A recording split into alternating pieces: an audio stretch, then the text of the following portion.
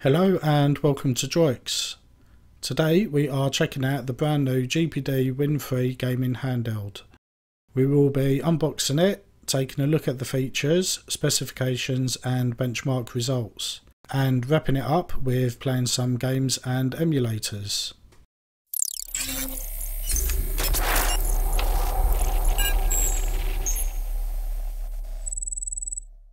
Let's start off with the unboxing.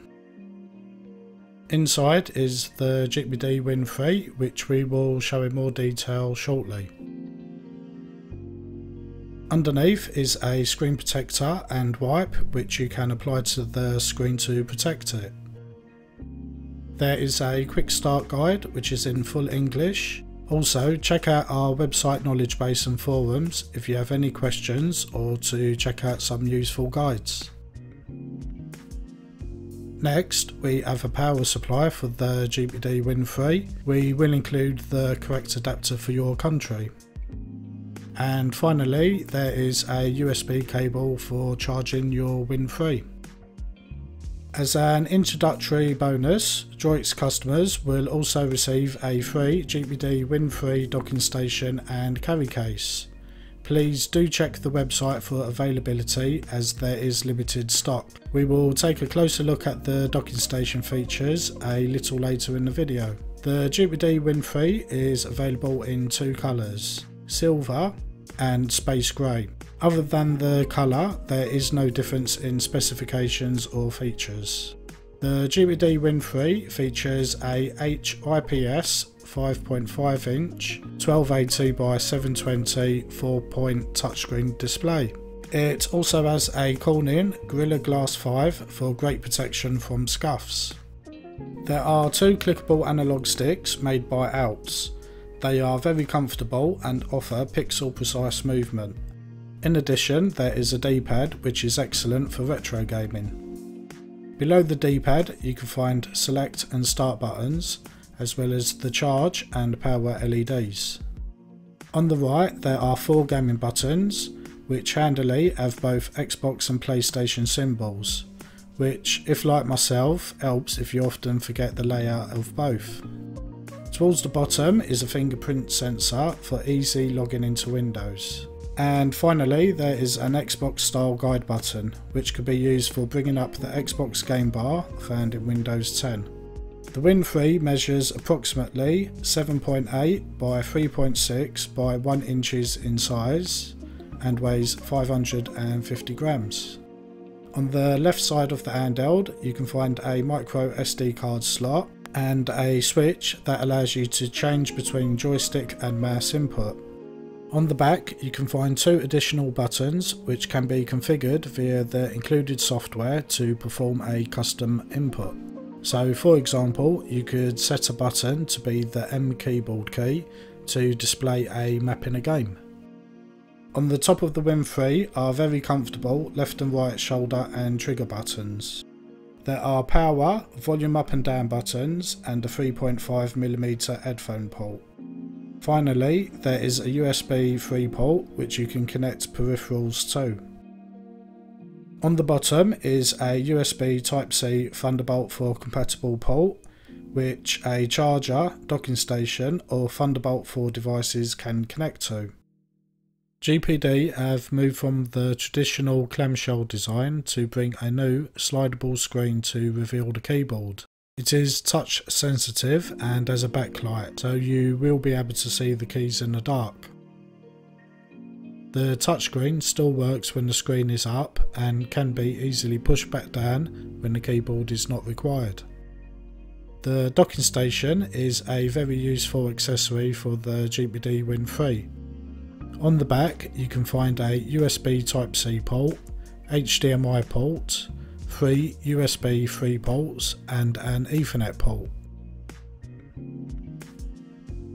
This gives you a great solution to expand the number of USB ports as well as offering HDMI output to a monitor or TV.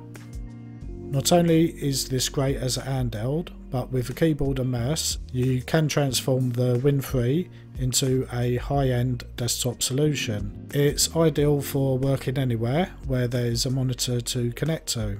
The GPD Win series is now in its third iteration, and taking a look back over the previous two, you can see the great improvements in design, features, and specifications.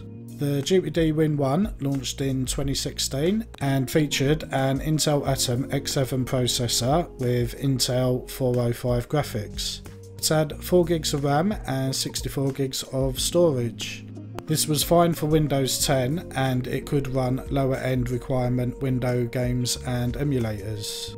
The GPD Win 2 launched two years later with a faster Intel Core M3 processor and Intel 615 graphics.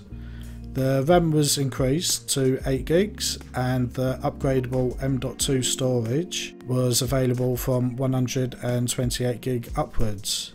The improvements and specifications meant a larger number of high-end games could be run. The GPD Win 3 again continues with the improvements to specifications and features, so let's take a closer look at them. There are two models of Win 3 available. The first is an Intel i5 1135G7 quad-core processor with 8 threads running up to 4.2 GHz in turbo mode. The second is the Intel Core i7 1165G7 quad-core processor which also has 8 threads running up to 4.7 GHz in turbo mode. The graphics are powered with the Iris Xe graphics running up to 1.3 GHz supporting DirectX 12.1 and multi-monitor display. You can, if you wish to, use an external graphics card via the Thunderbolt 4 USB port. There is 16 gigs of LPDDR4X 4266 RAM for excellent performance. As standard, there is 1TB of NVMe PCIe Gen 4 storage. This can be upgraded to a larger storage if you wish to. The Win 3 is powered with three 3950 mAh batteries, providing many hours of power depending on usage. The Win 3 comes with Windows 10 Home Edition that is fully licensed with all of the latest updates available to install as and when available.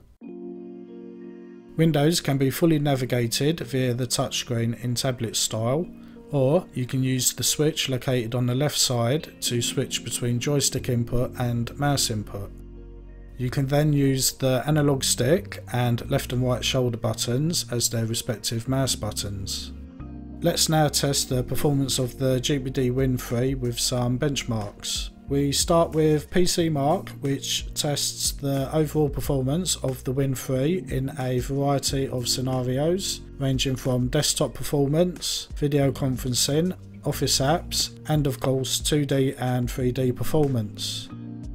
The GPD Win 3 scores an excellent 5037, putting it in the range of the higher end mains powered AMD Ryzen mini PCs. With this handheld, you could do everything from general day-to-day -day browsing right up to photo and video editing. As the Win 3 is primarily a gaming handheld, we can test the 3D performance with 3DMark. This tests in more detail the processor and 3D graphics. The final score of 1791 is excellent, beating the higher end mobile AMD Ryzen processors. It's no surprise as the 12th gen Intel Iris is very powerful and great for both 2D and 3D graphics. Next, we will check the internal NVMe storage with DiskMark. Having a fast internal storage is important as you have fast Windows booting up right up to faster loading speeds in games. Here we can see the great speeds for both reading and writing with averages of around 1800 meg a second each. We will now check out some high-end games starting with the recently released Crash Bandicoot 4. With the suggested settings it both plays and looks great. You can, if you wish to, change a couple of basic settings to increase the quality and keep a good frame rate.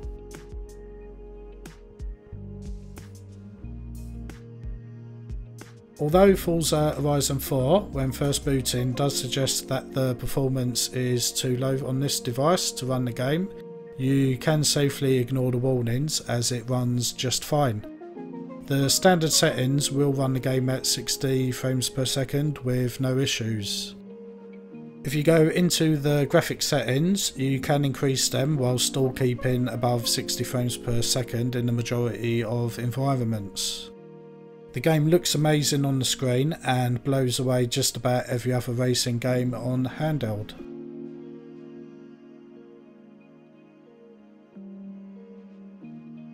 Grand Theft Auto 5 will run just fine at the recommended settings.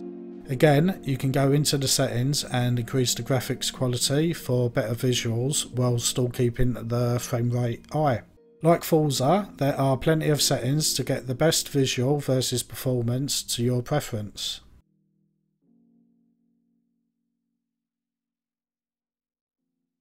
And we will finish off with some emulators for which the GPD is very good at.